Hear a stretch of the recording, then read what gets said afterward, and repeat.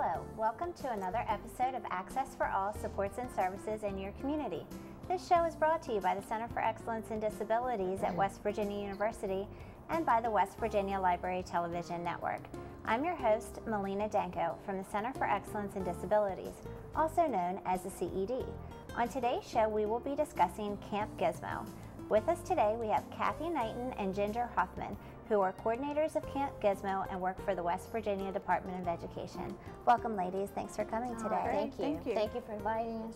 Kathy, can you mm-hmm. start by telling us what is Camp Gizmo? Well, Camp Gizmo is an assistive technology summer camp.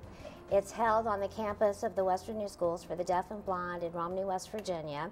And we bring together parents and professionals and other folks to really talk about assistive technology and learn how to use assistive technology to help young children with multiple and significant uh, developmental disabilities. And we work with children birth through eight years of age. Okay, and then this camp has been around for some time. How long has it been around? Well, Ginger and I were trying to figure that it out. We think about 18, about 18 years now. So Yeah. it's become quite a tradition. I know it's a big tradition mm-hmm. in West Virginia and it's very well known and everywhere that I go somewhere someone says, "Oh yeah, you know, we met them at Camp Gizmo or we learned that at Camp oh, Gizmo." we've had wonderful success. so it's a huge Mm-hmm. contribution to families who have children with disabilities here in West Virginia. And so who sponsors the camp? Well, actually, it's a collaborative effort. The West Virginia Department of Education, Ginger and I work for the department, West Virginia Birth to Three, and then WVATS. We, you all give us a lot of help with our computer lab. So it's a, it's a collaborative effort of different agencies in West Virginia. And who participates in the camp? Well, the whole idea of Camp Gizmo is we bring in children, young children, as I said, birth through eight, with significant disabilities that really need assistive technology in order to help them access mobility or communication or whatever area of deficit they have. We bring in the child and their family to work with them, and then we bring in professionals speech pathologists, physical therapists, occupational therapists, special educators, administrators, college students from all over the state to learn about assistive technology. We have workshops, we have labs, we have a kids camp, and then to do evaluations to find out how we can use assistive technology to help these children. One of the most exciting aspects not only do we help the children coming to Camp Gizmo and their families, but it's an opportunity for professional development. So, for example, at Western University, they closed down their graduate uh, program of speech language pathologists, and Karen Haynes from WVU brings all those students over to help do communication evaluations and really give we- give those uh, students a hands-on opportunity to do evaluations and to work with children that have very significant disabilities. And just to kind of take a step back, for those that are watching the show and they don't know what assistive technology is, can you tell me what, what would that be? I knew you were going to ask me that. I thought about assistive technology is technology that can be adapted for use by persons with disabilities. For example, it can be a very high tech uh, equipment, like a communication device that has voice output. It can be adapting a spoon so a child can eat. It can go from very low tech to very high tech. Wheelchairs, standers, there's a whole array of assistive technology, and we're just finding more and more uh, ways to use technology and adapt technology in order to help these young children with disabilities. It's really quite exciting. It really is, and for very eye opening for a lot of the mm-hmm. families too, I think, because A magnifying glass could be assistive technology, for example, Yeah. for a child that might have a visual impairment. I mean, that's something everybody can use, but for him, it would be adapted to be assistive technology. well, sure, and a lot of families, I think, have no idea Exactly. all of the, the Mhm, different what's things that are out there. And so then I know that you talked about some of the um, students that come, but who are the staff members for the, the camp? Well, we have a wonderful staff. We have the best and the brightest in West Virginia, and many of them have been with us for several years.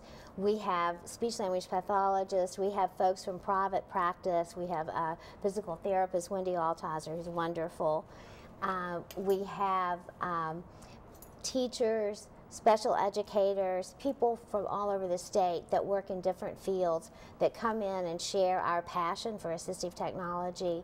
Have I left anybody out? We have birth to three as well. Birth to three, for the younger kids. That uh, yes, we offer um, continuing education hours as well and graduate hours. So some of the folks that may come may also have you know their social work license or their nursing license, those types of things. So they can also pick up professional development hours too. And, and we also have um, from WVU the feeding and swallowing team Yeah. that come over, and I think you all help facilitate that, and it's really exciting. And then we have Ann Cronin, who's an occupational therapist with WVU. So we have, it's really a statewide effort. It's it's very exciting. It really is, and it seems like almost like a one-stop shop for uh, you know almost all your your needs that you would need. You're exactly right. That's a perfect way to describe it because the child can come and be evaluated. I know Ginger's going to talk more about our labs for communication, for mobility. The family's there, everybody's there, so that when they leave the camp, they'll have an action plan and they'll know what to do after that. How long is the camp? I mean, it seems like it could take an entire forever. year to get forever. all of this it's done. no. yes, It's it five feels like days. it's five days. Five and again, days. it's on the campus of the Western New Schools for the Deaf and Blind. And what's so wonderful about that, the, their students aren't there. So we're able to use the dorms in order to house our families. The meal, uh, the meals are there. The lodging's there. The campus is absolutely beautiful. There's a swimming pool. So when the kids can participate in camp activities, it's just the perfect location for this type of hands-on community type event. And it has to be so helpful to the families because to be able to get all of those needs met, or Mm-hmm. even to meet with all of those different practitioners in just five Exactly. days, it, I mean, they would have to take probably Oh, a month off of work to, To you do know that, to do all of those appointments and follow ups and it wouldn't be as coordinated either that's something that's really nice about um, when they come to camp Exactly. gizmo And the networking with, within the fam, I think that's what we found. They're just, they love being able to talk to other families that have similar issues, that have children. And these are children with significant disabilities. And, and this is a life changing experience for many of these children. Sure, and then many of them come back, right? Mm-hmm. You mean the children? Yeah. Well, mm. we have families? the families come back very often as professionals. What we do, we only have so many target families or target children, focus children that we can have a year, usually about 25, 26, because we're limited by the number of beds we have, the lodging, that type of thing. So generally, children that have been a, a focus child don't come back because we want to give an opportunity. This is a fantastic experience, and we want other children to have that experience. And then we have a limit, birth through eight, so that's another issue. Okay. So that was my, my misunderstanding. I think it just seems like so everyone knows about it. That, Well, they come back sometimes not as focused, but as uh, Yeah, as volunteers or as team leaders and that type of thing. I think that's perfect um, lead into a question that I had for you, Ginger. Now, Kathy mentioned team leaders. You guys break into teams. What what is that, and how does that work? Yeah, part of the structure of the camp, uh, we, part of our staff, we have what referred to as team leaders, we have consultants, you know, we have folks that help out throughout that camp. We usually have about 12 teams, and then based on the applications that we have, as Kathy mentioned earlier, we have focus families. Each one of those families is assigned a team leader. Usually there's uh, two families per team lead per team leader, and then that role that team leader is to do exactly kind of what you said, help coordinate, network, and facilitate that family through the process of Camp Gizmo. you know, what what types of labs do you need? What kind of professional development are you interested in? What kind, you know, kind of where you at, where, where you're at in terms of uh, your family and the community and adaptations that might be needed, and then uh, the professionals that apply to the camp are also assigned to a team. That could be the speech therapists that Kathy was talking about, our OT students, our occupational therapists, um, some of our uh, teachers that come through, birth to three professionals or service providers, parent centers, those kinds of individuals that are you know representing other entities will also be assigned a team. So, so as people apply, it creates the team breakout as we refer to it because it gives the camp some structure. And then every team, we also have a have a, what we refer to as a family notebook, and that helps facilitate the process for that family, what they can expect, how they can sign up for like the, the feeding team and the different labs that are available. And it mm-hmm. gives structure to the camp for the individuals coming through because it can be very overwhelming. You know, you're in a new place, new location, you got to find the building. I mean, these sound so simple, but it, but the campus is large and it's spread out, and so we really try to have have that support of the other families in the camp, Mm-hmm. of the team leaders, and of the other professionals for those families as well. And then speaking of some of the, the things that you do there, you guys have some activities as well. Can you tell me about the activities that you guys have? Yeah, we have actually kind of a, a variety of activities. We have professional type of activities that folks can participate in for professional development, but we also try to offer some family activities because this is a chance for them to come together with you know kids that have significant disabilities and be a part of a community and have some fun as well and some downtime, but also be learning about their kid and you know the things that they can do within their own communities of, as well. So, you know, with our labs, and then um, you know they have that opportunity.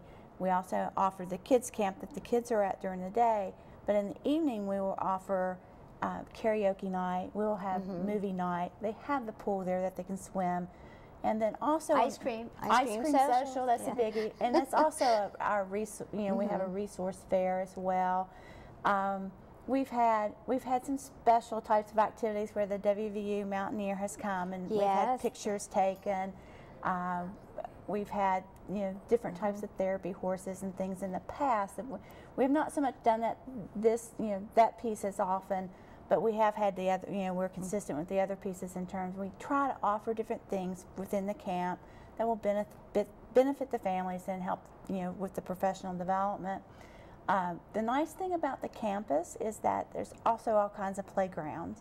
So and you know some of them are adaptive because you know it's a school that for kids that have disabilities as well. So some of those adaptations are already on on campus as well. So that gives them a chance to get out and do things too. And in her kids camp, it's inclusive because our staff members bring their non-disabled students, their non-disabled children, so they're able to participate in the camp activities. And then that we have a Sibshop too. Yeah, that's right. We do have a sip shop where actually we have, we have um, one thing I, when we're talking about the labs, we offer a Sibshop, which is for siblings that, you know, if they're have a, a brother or sister with disability where they have an opportunity to express their feelings and to talk about the situation because sometimes you know there's a lot of Yeah.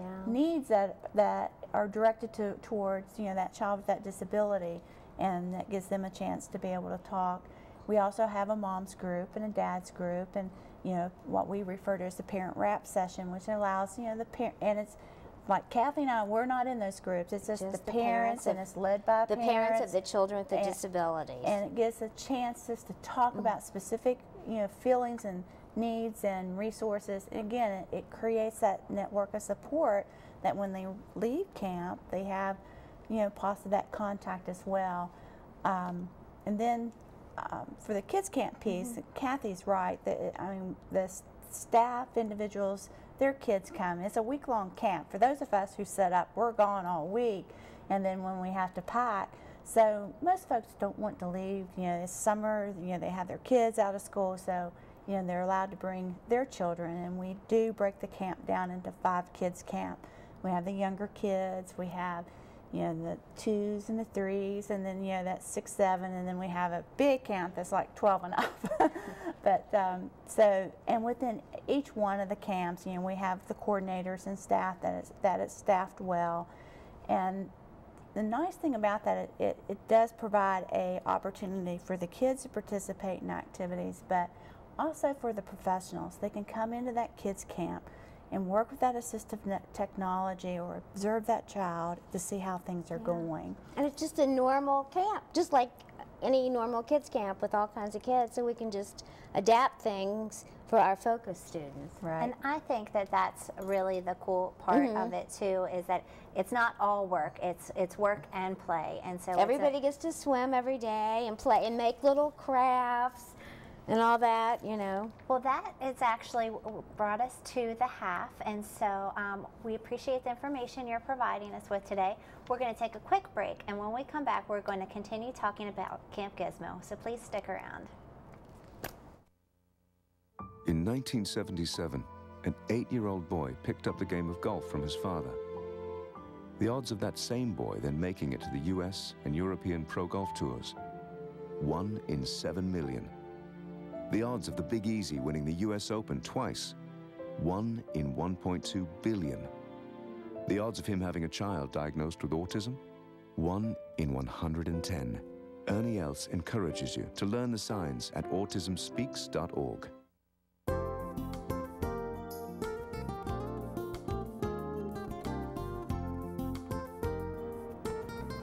Hello, and welcome back to Access for All supports and services in your community. If you are just joining us, we've been discussing Camp Gizmo.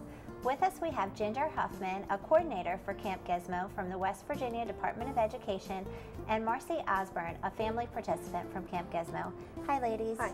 Welcome back. Now, Ginger, for those that are just joining us and they're not familiar with Camp Gizmo, can you give us a quick recap of what Camp Gizmo is? Sure. Camp Gizmo, it's a uh, five-day hands-on uh, type of camp uh, for children birth through age 8 that have significant disabilities. It's an assistive technology camp and um, the camp is held in Romney, West Virginia at the Schools for the Deaf and Blind and we have um, uh, families come and different staff come and participate as part of the camp during the summer. It's usually held in July and there is an application process as well for um, participating in the camp. Um, the assistive technology piece, it could be something uh, as simple as a magnifying glass to a iPad or computer or, or, a wheelchair. So it just depends on the needs of the child in terms of what we look at for the assistive technology. And it very, it really is very um, specific to the family's needs. And I know that you guys um, tailor it that way by um, selecting how you select your families and, and knowing ahead of time about the families.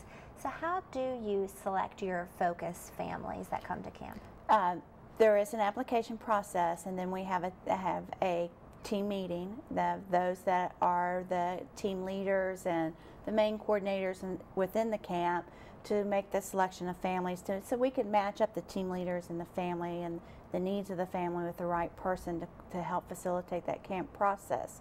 And then uh, within the camp, um, you know, based on that, then you know they can participate in the different labs such as mo mobility. Uh, we have an adaptation station where they can go in and adapt different things for the child. They're on campus. They make it at the time. They, the family can take it home or uh, you know use it there and wherever. And we also have augmentative communication lab where they evaluate them for speech language. We have a sensory integration lab where um, you know, the occupational therapist works with them, and then we have a CVI lab for, the, for kids that have visual disabilities as well. These labs are, are very helpful. I mean, I, I've been there and observed the labs, and it's, you know, it's like you're getting a one-on-one evaluation but you're getting as you know several of those if, if that's the need for the family during that time is that right yep right they can um, they have an opportunity to go through, go to all the labs or whatever specific lab that's you know that their child needs. I mean, we also have a computer lab as well, which which helps us with access and uh, different types of language or uh, development types of things as well. So it just depends on what they are interested in learning and needing, and we try to match that up for them with what's available at the camp. I'd like to add also, um, as a team leader, that family has been contacted multiple times before they come. So there's a relationship prior to them attending. So they know already where they want to go, what type of situation they have in their living environment, and they work together with that team by going to those labs. So it's a, a very well oiled machine where, when it comes to choosing the families and working them through. It's not just those five days, it's several conversations prior to going, and everybody's on the same page on that first day to hit the ground running and actually meet those needs. And So- I think that's one of the, the key parts that makes this camp so beneficial for people is that really it can be tailored to each family's individual needs and it's not the same experience for everyone. It's really whatever their child needs and their family needs. Right. Now, Marcy, tell us about your first year at camp. Well, my first year at camp was life changing. Uh, we were in a very critical phase. Uh, we had recently got a diagnosis for our child. Um, he was only 17 months old, and it was very overwhelming as a first time mother. And I arrived at camp actually to be a professional and not as a focus family, and became an unofficial focus family because of our needs. Um, I was unaware of the abilities that they had at this camp to change a life. Um, when I came, I was scared, I, I didn't know what to do, and I left with the ability to advocate for my child, know what I needed, understand his disability, feel like I had connections, everything all in one week. It gave such a difference in our life at that time, and it was a pivotal change because had I not come, we would, you know, we would have struggled. We didn't know where to go for these things, and like we said earlier, it's a one-stop shop. So I came, and all of our needs were met right then, and I took that home, and from that point on, all of our services were affected by those changes that we made at Camp Gizmo. Wow. And I think that's very common story that I've heard from other families that have been there. And so um, I know that, that you said how that those changes um, went moved forward from there. How has camp, the camp and attending the camp impacted your life and your family? Well, like I said, we came home and all of our, our services were adjusted um, based on what I had learned um, as a parent and also as an advocate for my child. Um, I also now work in West Virginia Birth to Three, so everything that I do with other families is based on the Gizmo method. I try to give my families that type of service because it is something like no other. It is a very significant change for a family when they come. And I know when, you know, everything from how I thought about my child with a disability to also what our future looked like changed after going. And so that in itself can really make a difference when you just get that diagnosis or you don't know where to turn, especially if it's something that's rare and you feel like you're alone. Um, you see that there's a camp full of people. There's so many other children and they all range with their abilities. And it is very important for families to see that we do have a future. Absolutely.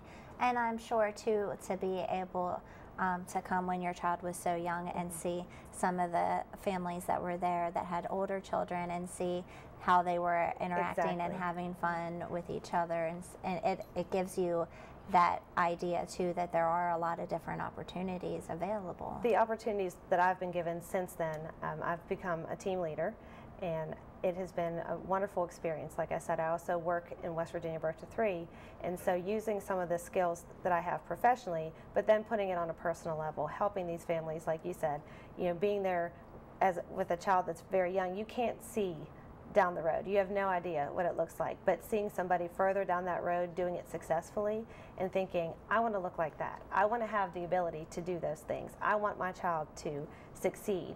And it's amazing to watch children come to camp with no ability to communicate and by the end of the, the week ordering their own meal or you know pushing themselves in a wheelchair or taking their first steps i mean these are all things that happen at this camp and to watch that family come so separated and leave together. It's it's just an amazing, life-changing experience. It absolutely sounds like it. What do you feel that families need to know about camp? They need to know it's overwhelming. It's overwhelming and it's wonderful because when they come, they have no idea what to expect. They don't know how it's going to change them. But nobody leaves unchanged. That's for certain. But they, I think they need to know that a diagnosis is just that. It's just words. And what we are looking to give them at Camp Gizmo is the ability to make their own life, the ability to have their child involved in the community, to go to school in the, in the right classroom for them, to give them the ability to, to advocate, to figure out what type of assistive technology that they can use right now or in the future. And it's just it's such an educational component, but a supportive, emotional, just well rounded event that they will forever remember. And so, as overwhelming as it sounds to go and do all these things all day long in a dorm room, in a cafeteria, it is well worth it because what you gain from that is Im- immeasurable. And that's what we hear over and over from our families. I have I've had many families in the past that I'm still contacted with, and we all say, you know, it's, that one week will change your life. And and it's true. I've heard that many times and, and since I've been working at the center. Now, Ginger, um, we have just about three minutes left, so I want to ask you a few wrap up questions. First, what do you think is the secret to the success of Camp Gizmo? I mean, 18 years of changing families' lives, and you know, it, you hear the same thing over and over again. What do you think is the secret? Well, I think one thing, um, one secret is you know, we have a formula. We've been at it for a lot of years, and every year, let me tell you, we look and we look hard, we tweak, we change, we try to improve. But I think the real secret to it is our collaboration, our partners, that we are committed to helping families and children in West Virginia. We want to help them have the knowledge and information to advocate and know what they need and what they can take back to their community to help them um, continue to grow with their child uh, and to build that relationship, you know, between birth to three, the school system, you know, the community, you know, all those things that, you know, we do every day and to be able to, to, to do that and be successful. So I think it's just a combination of having the right people, the right team leaders, and having those folks that are very passionate but very um, um, very knowledgeable and skilled. And you know, the nice thing about the camp is that it does help families and children, but it also helps build the capacity around knowledge about the services and assistive technology and what we can do to help help children you know with our pre-service folks coming in sure and there's no other place that you can go in west virginia and and get that kind of service especially all at once and have that kind of experience um, all in, in five days. Now, how can people find out more information or if they want to sign up for camp? We have, um, it's, it's on a variety of websites. If folks have access to computer, if they do not, they can just call either Kathy or myself or you know, most of the, if they're in birth to three, most, you know, the service coordinators will have that information, but it's on the birth to three website. It's on the West Virginia Training Connections website is on the Department of Education website. All the websites are linked that leads back to the application. So, and we also have a Facebook page, Camp Gizmo, so folks can also find out information on, on there as well if they're on social media. All right. Well, that will bring us to a close of the show today. Thanks so much for joining us and sharing such great information. Tune in next time as we look at more programs. This has been Access for All Supports and Services in Your Community. I'm Melina Danko from the Center for Excellence in Disabilities. Take care and we'll see you next time.